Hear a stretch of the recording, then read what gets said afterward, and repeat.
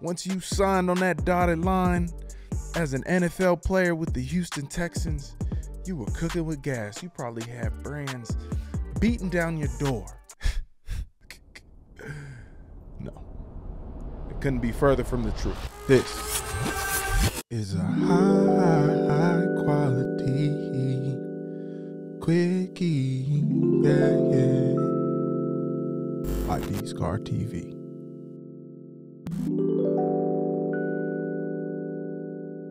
And we're back with another episode of B Scar TV. It's a high quality quickie for that ass. A brand is defined as a name, term, design, symbol, or any other feature that distinguishes one seller's goods or services from those of other sellers. And I am here to tell you that as an athlete, as a creative, as a creator, as a professional, you are your brand. Let me tell you how I know. Me, Brennan Scarlett, aka B Scar, the host of the B Scar TV podcast. If you ain't know, if this is your first time here, I was an undrafted free agent into the NFL, the bright lights. You would think, man, you had your brand all baked in, didn't you? Once you signed on that dotted line as an NFL player with the Houston Texans, you were cooking with gas. You probably had brands beating down your door. You probably had clients and partners and all type of professionals trying to work with you. no. It couldn't be further from the truth. When I got into the league, I was actually one of those guys that I had to to call agents. I was calling for representation. It was uh, it was never easy for me. And as soon as I made it to the league, it, it, was the same thing, right? I was focused on ball and I was trying to make the team and, you know, this, that, and the other. And to be honest, I thought that the commercials, the shoe deals, you know, the network, the professionals that I wanted to connect with, I thought it would all just happen by getting there, by getting to the upper echelon the top of the top of my profession. That's what I thought. Boy, was I wrong. After a couple years in the NFL, I had a conversation with my agent. You know, what about my marketing? That's what I was asking my agent at the time. What about my marketing? How can I start to get these deals off the field? You know, there were rumors of Marshawn Lynch not spending a cent of his contract because he had a deal with Skittles and he had beast mode and he had this, that, and the third, and all the money that he spent off the field was money earned off the field. And here I was spending every dollar that I made. Not every dollar that I made, but every dollar that I was spending was made on the on the field because I didn't have anything coming in off the field. My agent, he told me, he said, the odds are stacked against you. One, you play football, you wear a helmet. No one sees your face. Sure, you're a professional, but you're number 57. You got a helmet on. But he sees you. Number two, you play defense. You're an outside linebacker, a backup at that. you played special teams, and you don't score touchdowns. And then number three, my friend, you're undrafted. You're just not that big of a deal to these brands. You're not the first of the 53 guys on your roster that they're going to reach out to. You may not even be the fifth or the 10th, or definitely wasn't the 53rd. My mother and father blessed me with, with a decent aesthetic. But the point was, just being in the NFL wasn't enough. It didn't build my brand to then command the type of collaborations, connections, networking, the type of partnerships that I really wanted to build. I thought to myself, I, I took it back and I was, you know, I was like, damn, I need to come up with a strategy. I need to come up with a strategy. How can I, Brennan Scarlett, number 57, the, the outside linebacker that wears a helmet, who was undrafted, with all, all these odds stacked against me, how can I bring value to a brand? How could a brand see value in me? And my brand. And that was the that was the shift in perspective for me is that i actually have to add value to my brand for a brand to see value in it as well. Does that make sense? I thought of three layers and three ways to increase my value as a brand. To increase my awareness to bolster. Mm, that's the word i was looking for. I found three ways to bolster my personal brand. If a brand wants to work with Brennan Scarlett, the number one, there should be alignment. Me and that brand should share the same values. Whatever that brand does, it should also be something I enjoy to do. It should be a service that I enjoy using, that I find value in.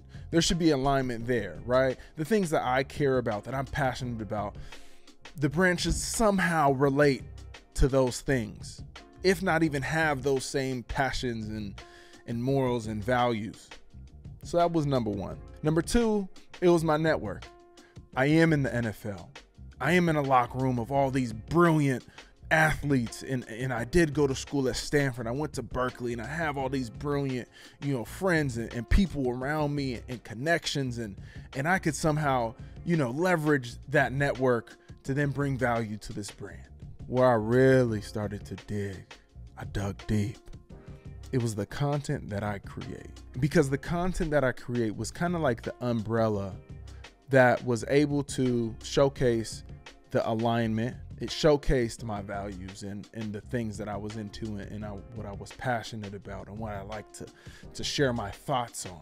The content that I create could show alignment, could lead to alignment, right? Which was that first layer. But then also the content that I create, there also is way are ways to start to integrate my network, right? How can I share the stories of the guys in the locker room? How can I share the stories of my friends? How can I share the stories of these folks in my in my network that, you know, brands might see value in that too. But then also, you know, the folks that are sharing their stories, they might find value in that themselves and maybe there is even room for a partnership outside of that. So right? So the content that I create, can I merge and integrate all of the layers between alignment and network within that content creation being kind of the umbrella. I've been at this for the last six years. It's been six years of really studying, of trial and error on building my own personal brand and also building the brands of my companies as well.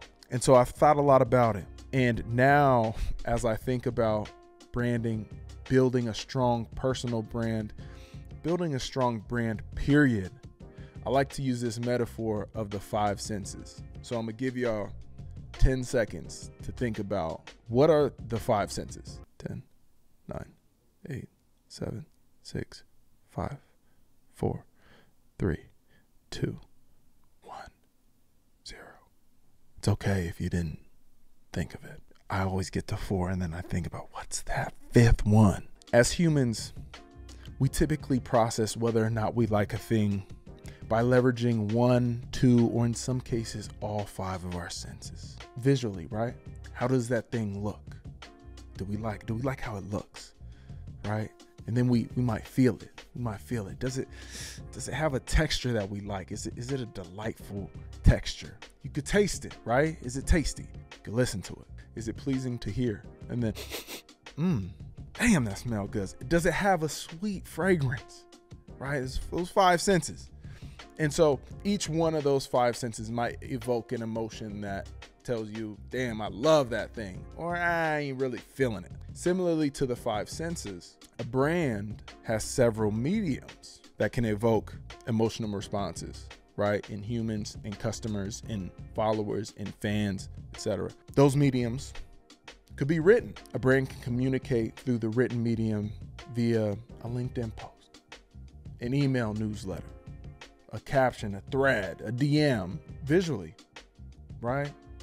A brand can communicate to their following via photos, videos, right? And then that's, you know, is it a reel? Is it a carousel? Is it, you know, is that in your your emails and your newsletters? Is that on your website? You know, how do they visually, right? Sonically, is it a podcast?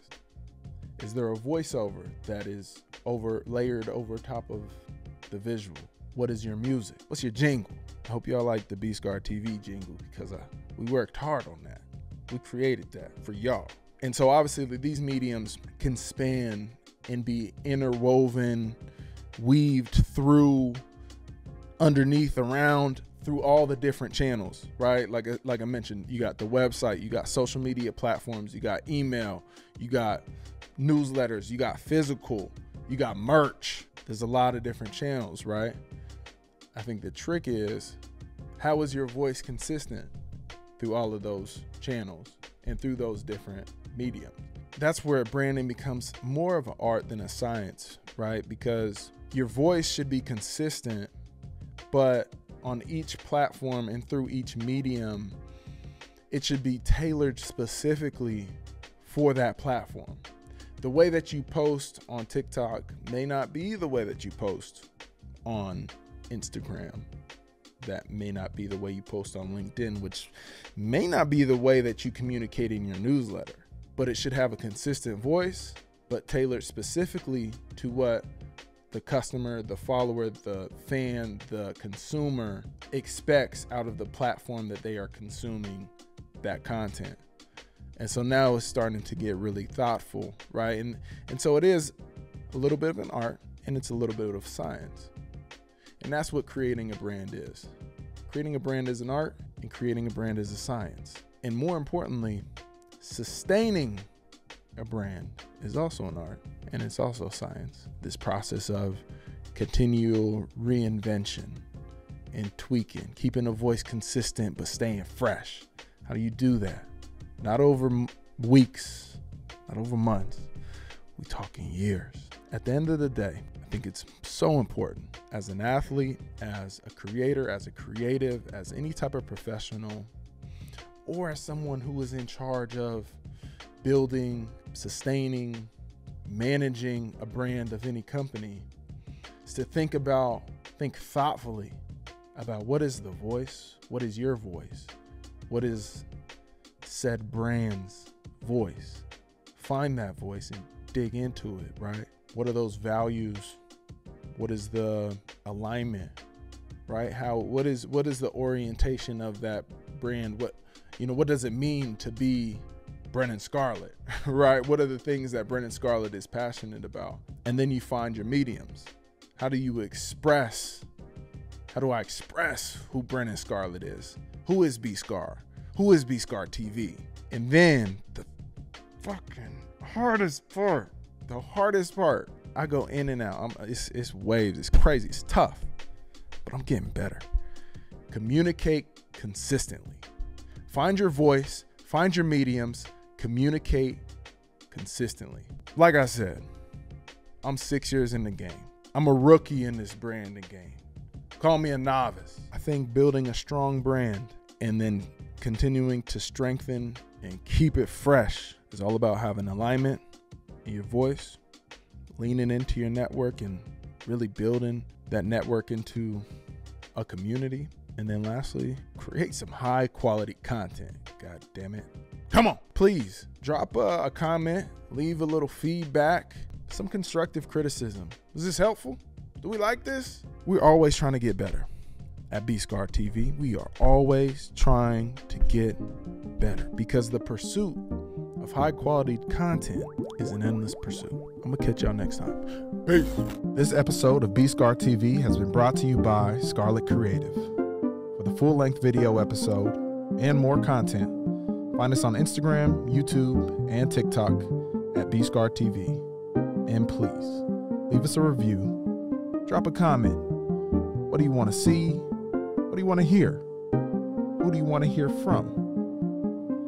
Love to hear from you. This is your host with the most, Brennan Scarlett, signing off. Peace.